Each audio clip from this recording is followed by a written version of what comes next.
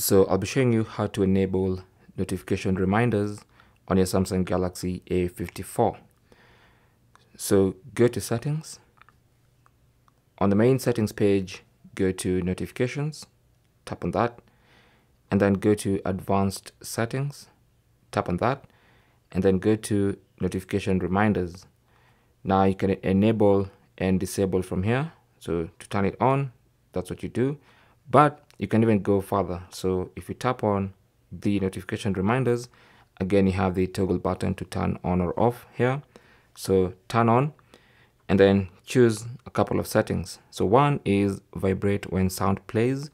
So by default, the notification reminder will only make a sound. So if you want that sound to come with a vibration, you can enable that. And then also you can choose the time intervals between the reminders. Okay. So but the default is three minutes.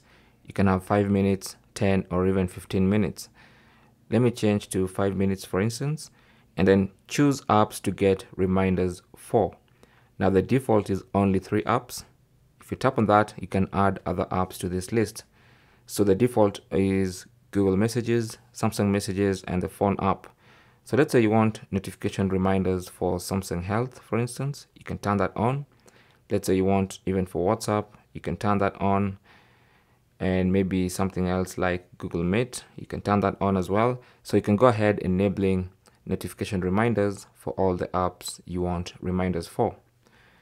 And then when you're happy, just hit the back button all the way back to the home screen. And that is basically how to enable or how to turn on notification reminders on your Galaxy A54. Thanks for watching. Leave your comments and questions down below and good luck.